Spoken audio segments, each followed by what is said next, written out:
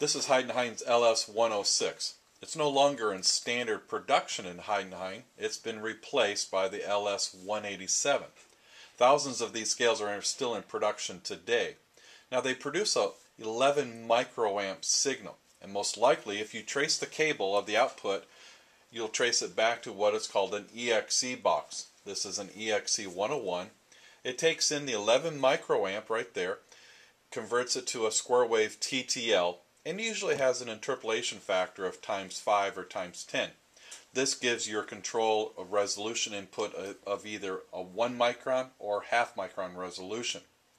Now the 187 or the 186 did replace the 106.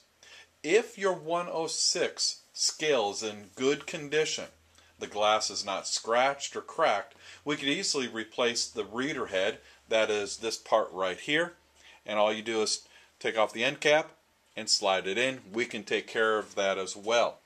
This is the picture of a damaged 106 where the glass has been broken. And so the customer most likely then would go with the LS 186.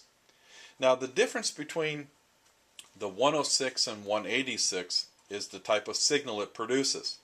The new 186 produces a 1 volt peak to peak signal, which is a stronger more robust signal. The output cable you would notice on the LS186 is a 12 pin. It's a 1 volt peak to peak. Whereas the output of the LS106 is a 9 pin 11 microamp.